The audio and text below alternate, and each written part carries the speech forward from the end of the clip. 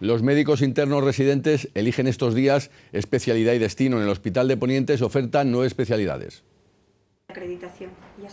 Entre esas especialidades destacan farmacia hospitalaria, medicina interna, medicina familiar, del trabajo, ginecología y enfermería.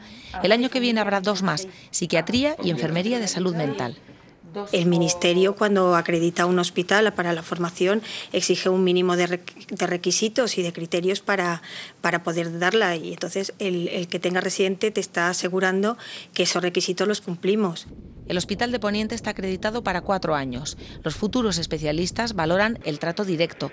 En el Hospital de Poniente hay un residente por especialidad, excepto en algunas como matronas y médico de familia, que hay más. Otro valor añadido para los residentes es que haya muchos pacientes en su especialidad.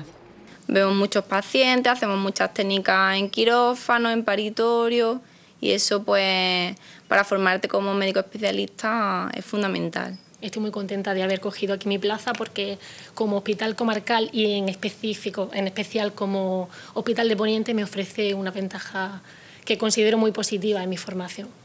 El paso por urgencias es obligado.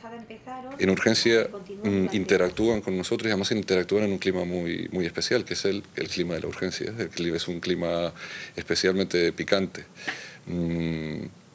Y es un sitio donde nos permite a nosotros valorar al residente, seguir al residente de forma global. El Hospital de Poniente está en proceso de acreditar para residentes las especialidades de pediatría, cirugía y radiodiagnóstico.